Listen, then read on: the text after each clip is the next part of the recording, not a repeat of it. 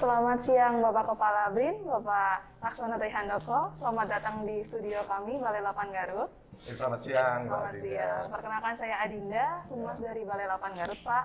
Ya. Di sini saya mohon izin untuk berbincang santai saja, Ya. Pak, terkait dengan pembangunan dan pengembangan Balai Lapan Garut. Ya. Sekiranya apa yang akan Bapak lakukan, Pak? Mengingat kami memiliki fasilitas yang sangat luas dan Ya. berada di paling selatan pulau dan sangat memungkinkan untuk melakukan uji-uji lainnya Ya. dan eh, penempatan sensor-sensor ilmiah lain, Pak. Ya. Dan selanjutnya, apakah nanti Balai Lapan Garut akan berada di bawah Deputi Fasilitas dan Infrastruktur? Baik, Ya. Pak, silakan untuk dijawab. Terima kasih Mbak Dinda. Jadi kalau secara umum, jadi eh, itu sebabnya mengapa kami harus ke sini ya. Gitu, karena kan kami harus melihat langsung dan kemudian saya harus lihat langsung dan kemudian melihat potensi-potensi ya dari lokasi ini yang sejarahnya juga sudah panjang kan? Dari tahun 60-an ya.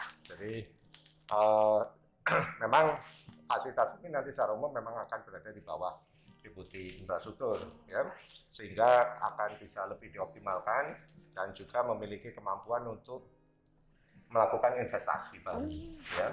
Dan itu tentu sangat penting untuk eh, tadi yang disampaikan Pak Adinda kan untuk memperluas Ya. cakupan ya gitu kira-kira nanti bisa dipakai untuk apa saja gitu ya gitu eh, tentu eh, yang basisnya adalah peluncuran ya peluncuran roket dan eh, berbagai aktivitas mungkin eksperimen yang terkait dengan itu barangkali ke depan Wah, luar biasa sekali, Pak.